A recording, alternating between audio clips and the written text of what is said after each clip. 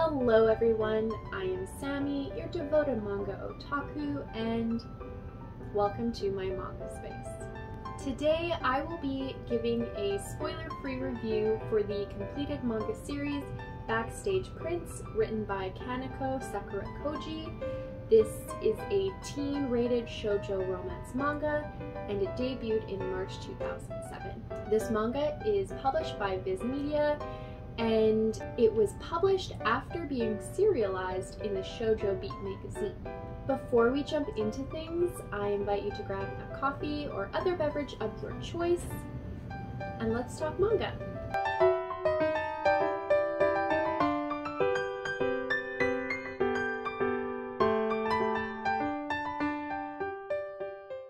Alrighty, the story of Backstage Prince begins with the introduction of Akari. She is your average, ordinary high school girl who fails to see why her friends are so enthralled with the talented and handsome Prince of Kabuki, Ryusei Horiguchi. After feeling extremely guilty from accidentally injuring him, Akari volunteers to help Ryusei as his assistant in the Kabuki Theater until he is healed. The antisocial and reclusive Ryusei accepts, only because his cat, Mr. Ken, seems to approve of Akari. The two grow close while working together and eventually realize they have fallen for each other. However, this couple's relationship is not all rainbows and smiles. It's put through multiple tests, including the busyness of Ryusei's profession as a rising star kabuki, his popularity with the ladies, a disapproving father, and another kabuki actor who has a thing for Akari. I have owned this manga forever. I actually read some of the chapters when it was issued in Shoujo Beat years and years ago. And I remember really loving this manga as a teenager, which makes sense because this manga is geared towards that demographic. However, now that I have reread it as an adult, I can't help but have mixed feelings. Clocking in at two volumes, so there's only two volumes in the series, I knew to expect the pacing of this manga to be off. And my assumptions were accurate. The story does feel rushed. The main characters meet and start a relationship all within the first chapter of the story. It's very insta love, and I was reaching to find why they even fell for each other in the first place. Now, insta love can be done in such a way that the relationship still feels genuine. Sweat and Soap is a prime example of this, in my opinion. Both characters in that series start a relationship in the first chapter as well, but it felt real, whereas this form of insta love felt forced.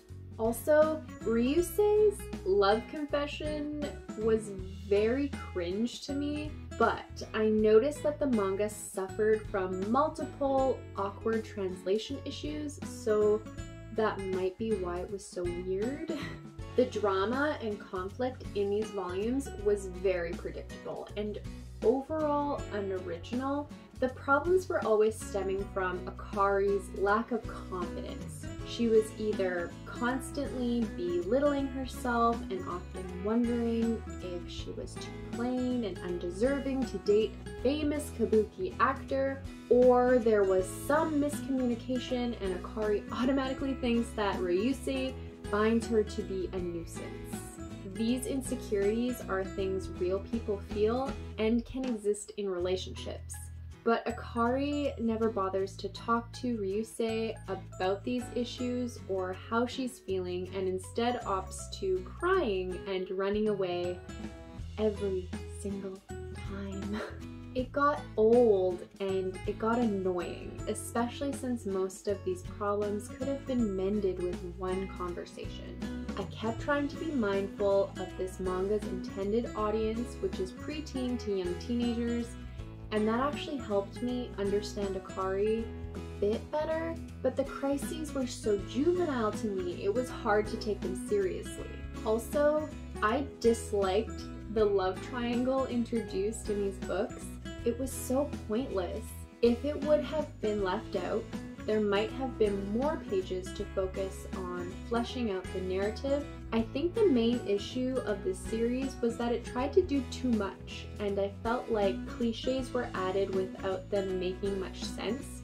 I would have rather had the couple go through a bigger hurdle that had some depth and weight to it than have these little meaningless conflicts riddled throughout the story. Overall, I didn't find the plot added anything original or substantial to the genre. At moments, it felt like I had read this story a million times before. It's strange because Sakurakoji sensei talks about their love for kabuki and explains more about the theater in between chapters and in the afterward, But I felt like that element of the story fell short. And it's a shame because if there were more kabuki in the story, it would have made the story stand apart from the typical shojo. For example, Ryusei is a kabuki actor, but you see very little of what he does. And maybe that's the point. I mean, it is called Backstage Prince. so it should be assumed that readers would be seeing more of behind the scenes.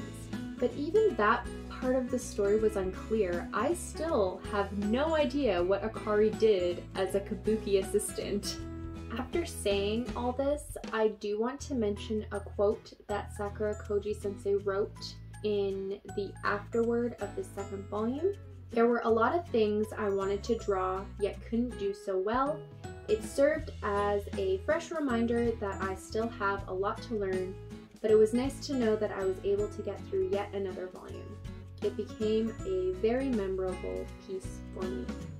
This quote made me appreciate the manga in a very strange way because it's almost like Sakurakoji sensei was using this series to better their illustrations and skills writing manga. And if you didn't know, after publishing Backstage Prince, Sakurakoji sensei went on to write and illustrate one of my favorite manga series ever, Blackbird. I am so dumb. I didn't even realize that both manga were written by the same mangaka until I read Backstage Prince for this review. I uh, pulled one of the volumes of Blackbird just to show you guys. Look at how similar the main characters are. So like the only difference that I can really see is the eye color. But uh, I think I know where um, Sakurakoji sensei got her inspiration for the characters in Blackbird. Speaking of characters, let's draw our attention away from the story and look at the leads and supporting characters. Unfortunately, our main couple's personalities and development suffered, and I assume it's because of the length of this series. I wouldn't say they were completely one dimensional, but they often felt like they lacked depth and details that should make them stand out as leads. I don't even think Akari gets a backstory. Ryusei does get a small blurb in the first volume, and I thought it was really fitting for his character. Still, I wish it was expanded on even more. Ryusei was a big ol' grump, which I'm okay with. I'm actually quite fond of grouchy manga boys. Sometimes it felt like he was overly controlling and possessive of Akari, but Akari found it endearing and lovable versus smothering. And I get it, only she was allowed to see the real Ryusei, who, by the way, is surprisingly emotional when he is vulnerable the cranky boys are always big, soft marshmallows on the inside. I couldn't help but relate to Ryusei's antisocial personality and constant desire to alienate himself from people. I did love how devoted Ryusei was to Akari and their relationship was sweet. But personally, I prefer manga with a little more teasing slash smuttiness. Akari was cute enough, but I found her to be kind of boring. Also, the supportive characters had weak personalities too and usually lacked a motive. I felt like they were aiding or sabotaging the main characters to move the story along versus actually having a reason to do so. I'll say it again. If this manga had been a four volume series, I feel like it would have made the world of difference. I don't really have a whole bunch to say about the art. I like it, it's nice. The art didn't wow me in any way, but I appreciate that it's drawn well and it's expressive. In conclusion, this is a small, quick series that I feel would be perfect for 12 and 13 year old girls and boys, or people who are just getting into manga and don't want to commit to a long series. I'm not sure I would recommend buying this though. If possible, I would try and find it at your local library or wait till it's on sale. As for star rating, I'm giving Backstage Prince two stars. And that, friends, is the end of this review. As always, I encourage and welcome constructive criticism so that I can write better reviews in the future. Please let me know what you think. Also, have you read Backstage Prince? I would love to hear what you thought in the comment section below.